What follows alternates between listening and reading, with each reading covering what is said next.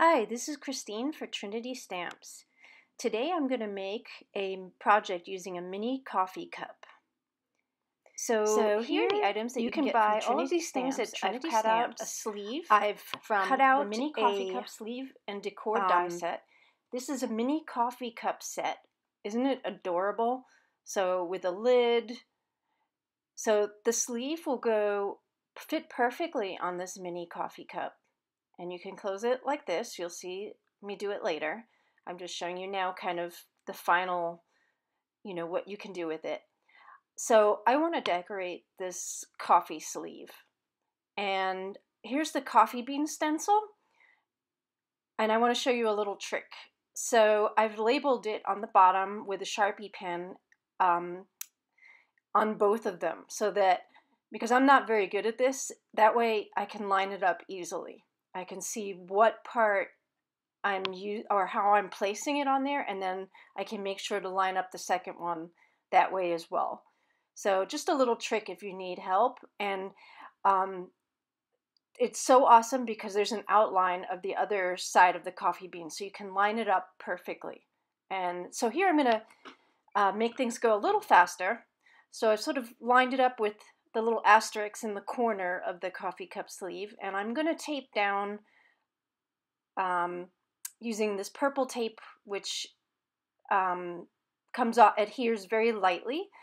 So I'm going to adhere the stencil, and then I'm going to start ink blending with Distress Oxide Espresso ink and a Trinity Stamps uh, blender brush.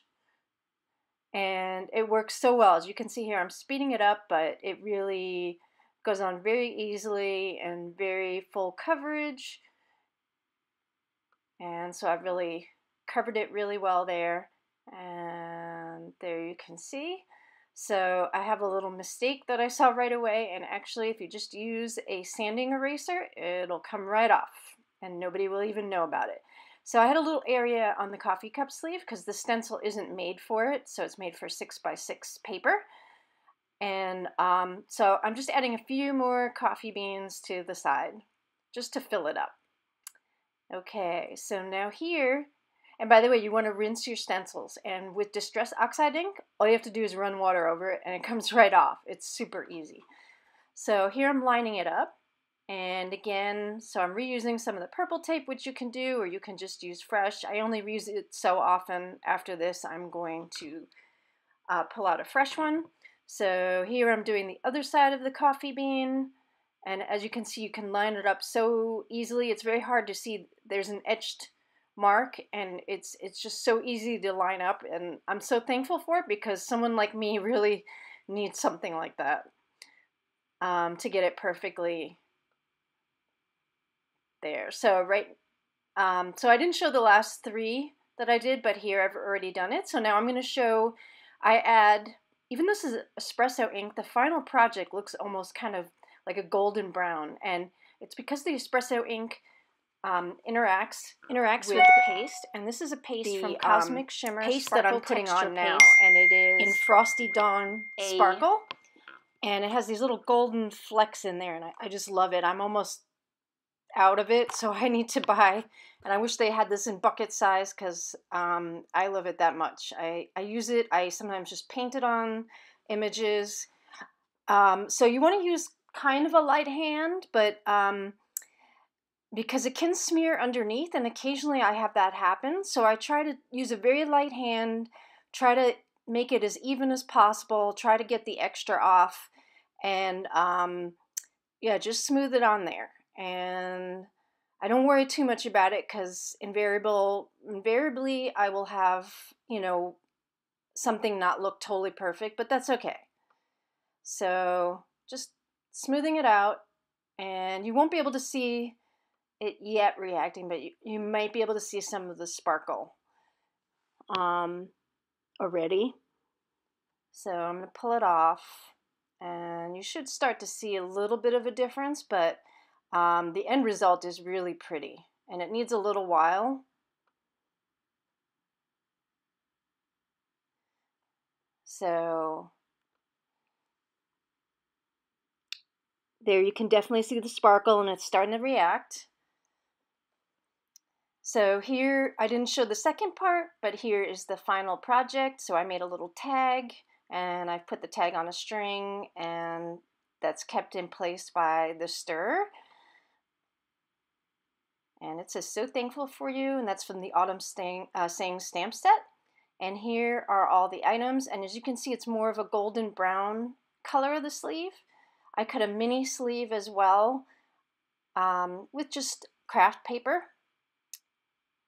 And so I'm just seeing how it's going to go. Just want to make sure I like it the way it looks. And I've die cut some other images from the mini coffee cup sleeve and decor die set. And all of these items are for sale at Trinity Stamps, including the mini coffee cups. And it's super cute. You get them in a pack of 10. And I already know that I'm going to do other projects with them as well. So this is a cute little fox from the Autumn Forest Friends set.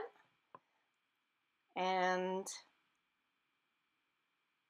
I hadn't used that stamp set yet, and I, I love it. The critters on there are just so adorable. So here I'm just going to put some adhesive. And I don't like to put the start the strong adhesive till the end till I make sure I really like the way it looks. So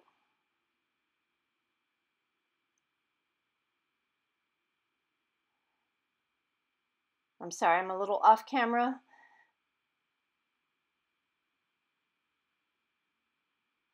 And there's a tiny little tab and it fits perfectly.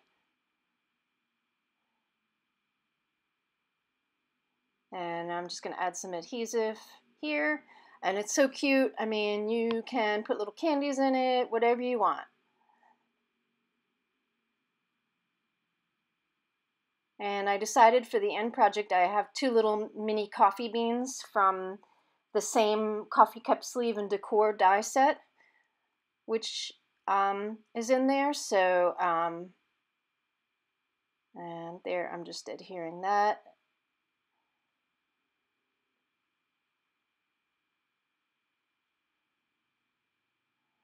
And I think it came out really cute. So the final image has, yeah, two little coffee beans. So I hope you like this project. I hope it inspires you, and thank you for stopping by.